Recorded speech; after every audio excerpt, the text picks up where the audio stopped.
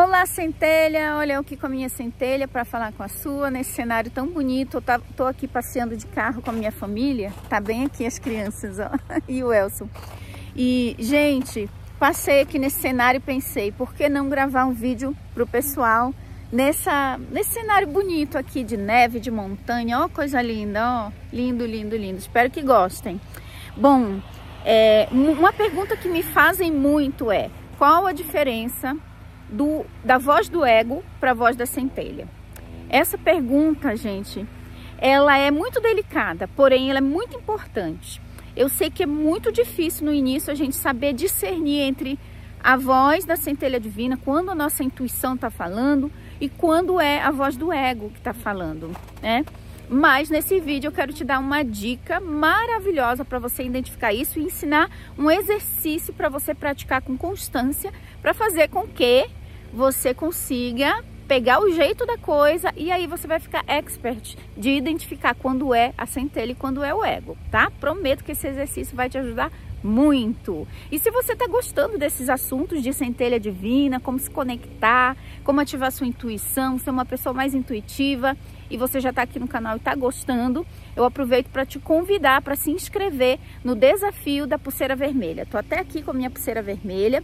Eu sempre faço esse desafio da pulseira vermelha é, periodicamente aqui no canal. São aulas abertas e a gente também vai ter um grupo no WhatsApp para é, compartilhar material que a gente vai usar nas aulas e áudios de meditação guiada que o pessoal adora sempre que a gente tem o desafio, tá? Mas clica logo para se inscrever e você não ficar de fora dessa maratona maravilhosa que é o desafio da pulseira vermelha.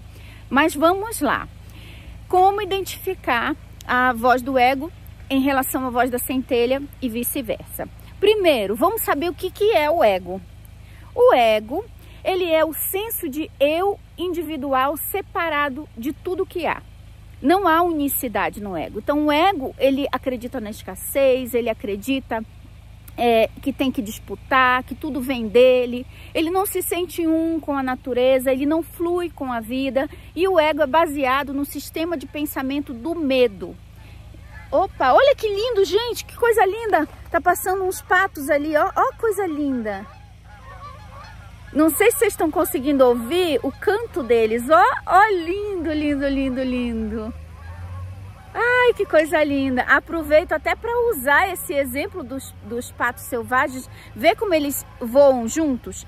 Tem um senso de equipe e o ego tem dificuldade disso. O ego pensa muito nele, no umbigo dele. É, e principalmente, a dica maior, o medo. O ego sempre vai ser impulsionado pelo medo e pela escassez, o senso de falta. É, e a centelha divina, ao contrário disso, é conduzida pela força do amor, o amor incondicional, a abundância, é a unicidade com tudo o que há. E quando a voz do ego fala com a gente, é sempre é, trazendo preocupação, trazendo medo, trazendo disputa, uma sensação é, negativa. Vai depreciar você, baixar sua energia, vai colocar você contra os outros. A voz do ego faz isso enquanto que a voz da centelha vai sempre elevar a tua vibração, vai te elogiar no sentido de é, dizer que você é precioso, que você é um com tudo que há, você vai se sentir um com a natureza, você vai se sentir um sendo conduzido pelo todo, por Deus. Então a voz da centelha ela é conduzida pelo amor, ela traz coisas positivas para nós. E o exercício, mas antes do exercício, tá gostando aí? Não esquece de se inscrever no desafio da pulseira vermelha. Desafio aceito? Se aceita o desafio, já clica aqui embaixo para participar do desafio da pulseira vermelha. Vão ser aulas abertas aqui no YouTube, tá? Mas vamos para o exercício. Qual é o exercício? O exercício é o seguinte. Eu gosto de chamar de caça ao ego. Inclusive esse exercício ele está lá no meu livro Centelha Divina. E eu estou abrindo aqui para vocês. Esse exercício eu chamo de caça ao ego. Significa que você tem que se manter em estado de presença o máximo possível ao longo do seu dia e perceber quando seu ego estiver atuando. Quando ele estiver em ação. Ou seja, percebeu um desconforto, um sofrimento, um medo, aquela sensação de quero ganhar uma discussão, eu tenho que ganhar essa discussão, É, imagina que você está conversando com alguém, alguém fala uma coisa e você discorda e começa aquele cabo de guerra é, para saber quem está certo. Naquele momento você solta o cabo, você solta a razão, você fecha os olhos e diz: Hum, o meu ego quer ganhar essa briga, o meu ego quer ganhar essa discussão, o meu ego quer estar tá certo. Então você solta, não faz o que o ego quer. Naquele momento você escolhe ser diferente do que o teu ego quer que você seja. Quanto mais você se perceber é, ao longo do dia, estando em estado de presença, para quando uma sensação de reclamação, uma sensação de briga, de pensamento de escassez, de preocupação estiver incomodando você, você vai saber que naquele momento são pensamentos que o teu ego está produzindo.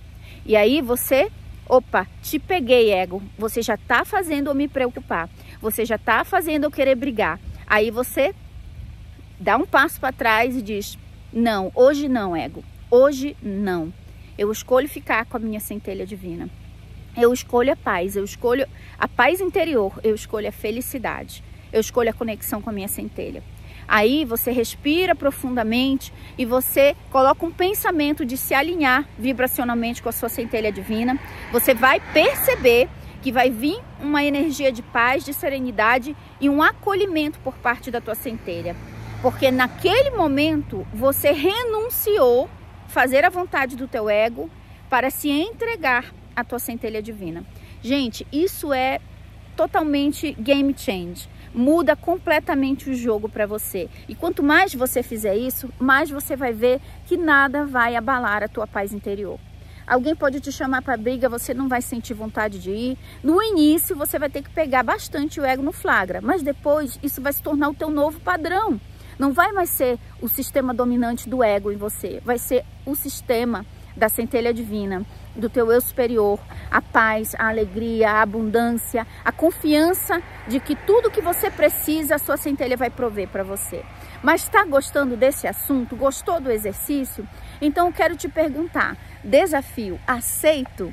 Se você aceita esse desafio, quer aprender mais sobre a centelha divina, participar do desafio da pulseira vermelha, clica aqui embaixo para você se inscrever e também entra no nosso grupo do WhatsApp, onde eu vou compartilhar gratuitamente aulas abertas, é, os PDFs e os áudios de meditação guiada para conexão com a centelha divina. Além do que, gente, estar tá conectado com um grupo que gosta desse assunto já vai auxiliar a sua energia também. Um Beijo da minha centelha para sua e nunca esqueça que você nasceu para ser feliz. Uhul!